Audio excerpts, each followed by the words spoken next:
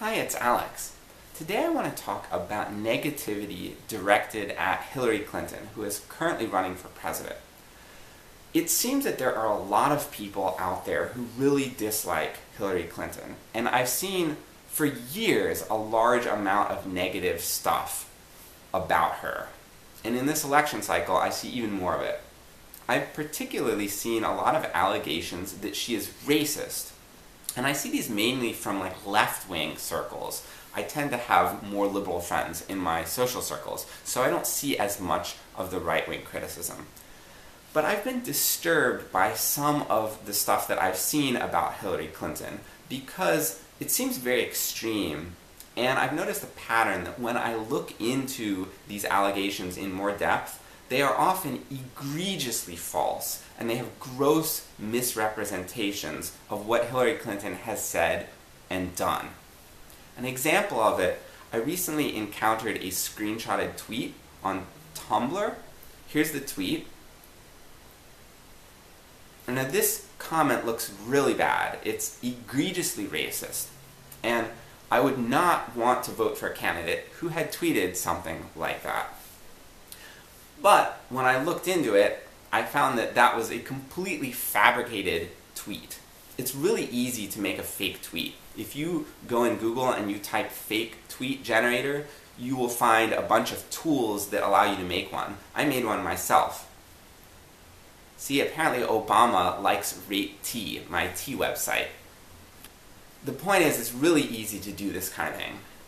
So when I found that this tweet had been faked, I messaged the person who posted the screenshotted tweet and I said, hey, like, this is a fake tweet, and I sent them a link to an article that had the full original quote with the context. And I said, I think it would be good for you to take this down because it's misleading.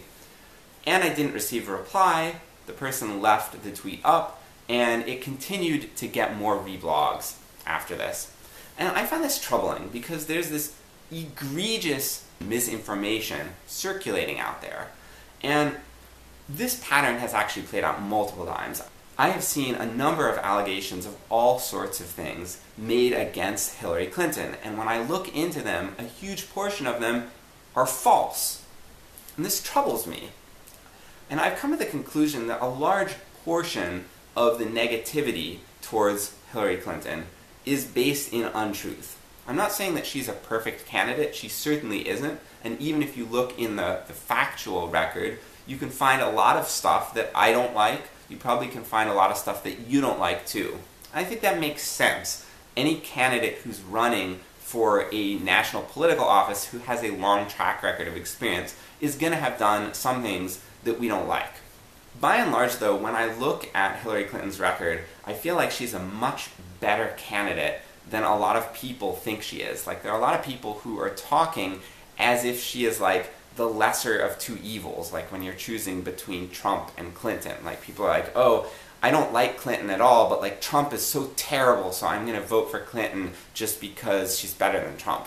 That's not how I feel at all. And I wonder if a lot of this negativity towards Hillary Clinton and the idea that she's the lesser of two evils is due to people reading and hearing stuff that is based on complete falsehood, just egregious misrepresentation of facts and truth.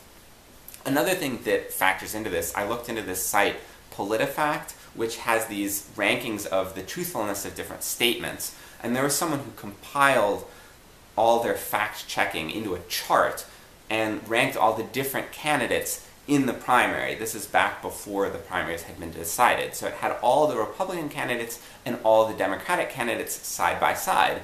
And Hillary Clinton performed one of the best on that list. And incidentally, there were some Republicans who performed very well too, including Jeb Bush and John Kasich, both of whom lost the primary. Um, Trump was ranked very, very poorly. Um, so this, to me, also reinforces that Hillary Clinton is a pretty decent candidate. Like, she certainly doesn't always speak the truth, she sometimes distorts the truth, and she sometimes says egregiously false things, but she doesn't do it anywhere near as much as the norm for other candidates. So this is another thing to consider.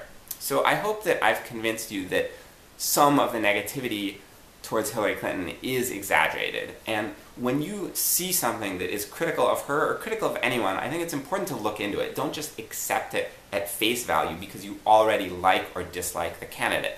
Look into it. You will find that there is a big disparity. A lot of the things being said about Donald Trump are true.